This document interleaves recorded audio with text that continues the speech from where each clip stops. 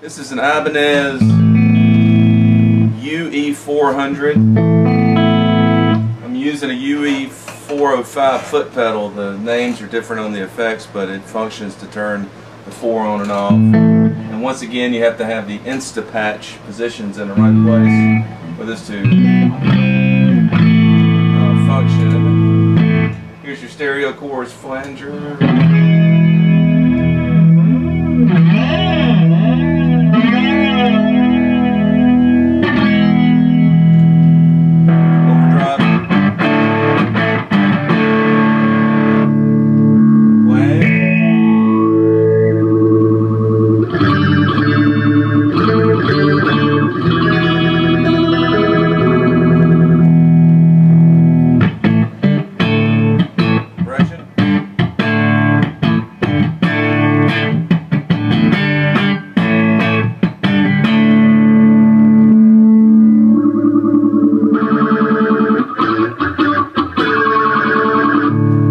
Coming off of the master.